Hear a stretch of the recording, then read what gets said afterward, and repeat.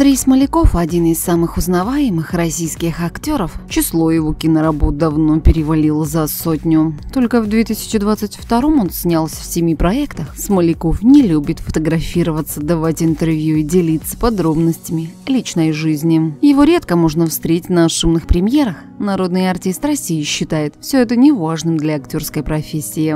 Обожаем миллионами телезрителей по роли следователя Ивана Черкасова в цикле детективных телевизионных фильмов «Мосгаз», «Палач», «Паук», «Шакал», «Операция Сатана», «Формула мести», «Катран», «Западня» и «Последнее дело» майора Черкасова. Также он снимался в таких картинах, как «Две судьбы», «Страсти по Анжелике», «Топор», «Художник», «Исаев», «Штрафбат» и многих других. Актер признается, что злодеев ему играть интереснее. Первая жена Андрея Смолякова, балерина Светлана Иванова, бывшая солистка Большого театра, ныне педагог Академии хореографии. Их брак продлился почти 25 лет. О причинах расставания супруги не распространяется. Не бродит по скандальным ток-шоу. Сын Дмитрий учился до пятого курса в университете радиоэлектроники и автоматики, а потом бросил его ради продюсерского факультета МХАТа. На сегодня большую часть времени Дмитрий посвящает кинематографу. Как актер он участвовал в нескольких проектах, но роли были эпизодическими.